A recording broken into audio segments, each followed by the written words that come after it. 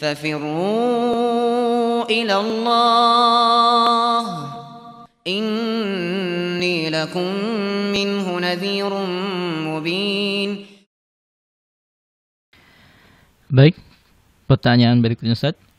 Ustaz, Alhamdulillah saat ini saya sudah bisa menjaga wudhu. Di kantor, bila batal wudhu, saya berwudhu dengan cara mengusap sepatu. Apakah wudhu saya bisa dipakai solat Ustaz? Sedangkan saat solat saya membuka sepatu. Uh, bagus ya dari fikih yang dipahami oleh penanya, artinya dia sudah belajar. Nah itulah indahnya ilmu seorang kalau punya ilmu, dia sudah belajar, akan memudahkan dia dalam ibadah. Jadi menjaga wudhu itu dimudahkan. Kadang ada orang yang tidak berwudhu. Kenapa? Tidak berwudhu. Saya pakai kos kaki, pakai sepatu. Padahal dia bisa usap di atas kos kakinya, bisa diusap di atas sepatunya. Ya. Jadi kalau pertanyaannya tadi uh, mengusap di atas sepatu itu boleh aja. Tapi syaratnya itu sebelum dia memakai sepatu dia beruduk sempurna dulu.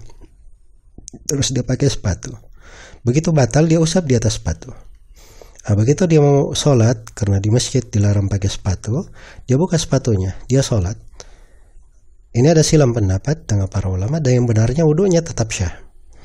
Boleh dipakai untuk sholat. Boleh dipakai untuk sholat. Tapi saya sarankan supaya uh, penanya jangan mengusap di atas sepatu, tapi dia usap di atas kos kakinya agar supaya kos kaki ini yang dia pakai masuk ke masjid.